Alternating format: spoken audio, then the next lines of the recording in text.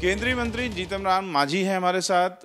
Sir Nawada में जो घटना घटी है उसका आपने अपडेट लिया होगा। देखिए, नवादा जो हमारे बिहार का है, अब बिहार में एक जनरल बात अभी हो गई है कि कुछ विरोधी दल के लोग हैं वो आज ज़मीन के प्रति इतना आसक्त हो गए हैं कि चाहे पर्चा का ज़मीन मिली हो तो या बिहार के ज़मीन पर गरीब तबके के लोग बस रहे हों आज से नहीं पच्चीस तीस वर्षों से वो सबको लिटिगेटेड करके या ज़बरदस्ती उसको हटाने का प्रयास क्रम में बिहार में सब जगह आ, विरोधी दल के लोग, हमारे जो सिल कास्ट के लोग हैं, उनको वहाँ से डिपजेस्ट करना चाह रहे हैं। वही कहानी नवादा में हुई है।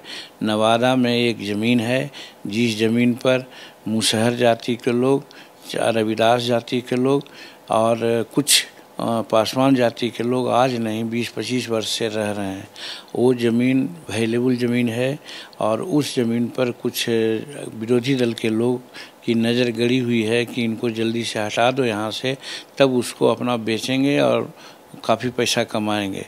और इसी के संदर्भ में जब कुछ बीच में हल्ला हंगामा हुआ तो 144 भी चल रहा है। शेड्यूल कास्ट के लोग गए हुए हैं। ये न्यायालय में अब चल रहा है। अब, ऐसा मान करके हमको लगता है, हम प्रज्यूम करते हैं कि 144 का जो वारा न्यारा होता है, या तो 145 में बदल जाता है, और नहीं तो अगर वर्डिक्ट लोग देते हैं तो जिसका पजेशन है, उसके पक्ष में बात होती है। तो ये चीज़ विरोधी दल के लोगों को समझ में आया कि इन लोग कब्जा में रहेगा, तब तो फिर हमारी ज़मीन नहीं होगी 144 का ये होगा। इसलिए इन लोगों को हटाओ। और इसीलिए एक आध शेड्यूल कास्ट के लोगों को मिला करके, और पीछे से वो लोग रह करके एक घटना का अंजाम दिए हैं। अभी अभी ये बात हमारी वहाँ से एसपी से बात हुई है। एसपी ने कहा है कि पंद्रह सोलह घर जले हैं। किसी तरह के मरने की खबर नहीं है। कुछ लोग जले हैं, वो हॉस्पिटल में उनका इलाज हो रहा है और फॉलो अप एक्शन में बारह या तेरह लोगों को पकड़ा गया है, जो सब यादव जाति के हैं।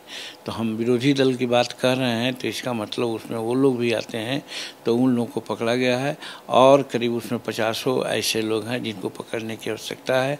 उस पर तेज़ी से कार्रवाई वहाँ कर रहे हैं और अभी हमने निर्देश दिया है सीनियर एसपी को और कलेक्टर से अभी बात नहीं हुई, उनसे भी कहेंगे कि चूँकि ये direct schedule caste atrocity act के तहत ये बात आती है, इसलिए राहत के लिए जो A C S T act के तहत मुआवजा होता है, देन एंड देयर लोगों को दे और उन लोगों को इंदिरा आवास बना करके सुनिश्चित करे कि ठीक ढंग से वहाँ पर रहे। तो आप ये नया अपडेट दे रहे हैं दरअसल। पहले ये माना जा रहा था कि पासवान समुदाय के लोगों ने माझी समुदाय पर हमला किया है। नहीं, इसमें और यहाँ एक आध आदमी को सामने रखा है विरोधी दल के लोग, एक आध आदमी को सामने रखा है कि जो जिसमें पासवान जाति के लोग हैं। तो एक आध दो आदमी कोनाइब्ड हो गए हैं, उन लोगों से टेम्पटेड हो गए हैं तो समूचे पासवान जाति के बारे में हम नहीं कर सकते हैं। जैसा कि अभी हमें बताया गया, इसमें और अरेस्टिंग जो हुआ है, वो प्योर यादव जाति के लोग को हुआ है। तो इसका मतलब यादव जाति का इन्वॉल्वमेंट था, तब तो उसकी अरेस्टिंग हुई।